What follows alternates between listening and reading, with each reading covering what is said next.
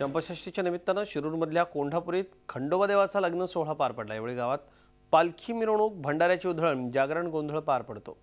पाहुयात खंडेरायाचं लगीन.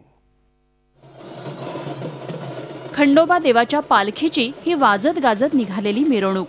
भंडाऱ्याची उधळण करत निघालेले गावकरी पालखी मार्गावर काढलेल्या सुंदर रांगोळ्या. शिरूर तालुक्यातल्या कोंढापुरी गावात चंपाषष्टीला खंडोबा देवाचा असा उत्साहपूर्ण लग्न सोहळा पाहायला मिळाला. कोंढापुरी गावात दरवर्षी असा लग्न सोहळा पार पडतो.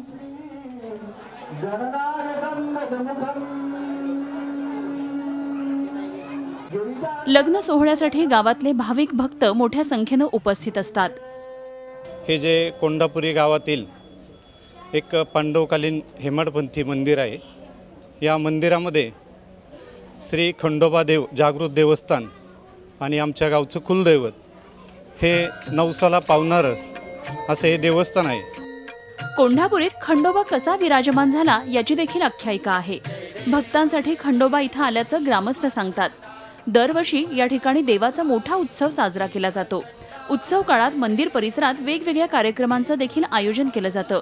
यात्रा काळात भाविक या ठिकाणी नवसाचं जागरण गोंधळ घालून खंडोबाची भक्तिभावानं पूजा करतात. जेजूर गडावरून ज्यावेळेस देव निघाले या लांडे पाहुण्यांच्या पा मागं तर त्यावेळेस त्यांनी सांगितलं आता माझी भक्ती पुष्कळ झाली. म्हणजे भगवंत भगवंतानी सांगितलं मल्हार साहेबांनी की बुवा आता लांडे साहेब लांडे तुमची ह्या भक्ताची खूप सेवा झाली. हेमांगपंथी जुनं खंडोबा मंदिर आहे. या मंदिराच्या मंदिराची ट्रस्ट ओपन केली त्या ट्रस्टचा मी अध्यक्ष आहे. कोंढापुरीतील खंडोबाचं मंदिर प्राचीन असून देवस्थान ट्रस्ट आणि गावातील काही दानशूर व्यक्तींनी या ठिकाणी मंदिराच्या जीर्णोद्धाराचं काम हाती घेतलंय. या देवस्थानाला क दर्जा प्राप्त करण्यासाठी ट्रस्ट प्रयत्न करतंय. तर प्रेक्षक हो असा हा खंडोबाच्या लग्नाचा आगळा वेगळा उत्साह पाहायलाच हवा.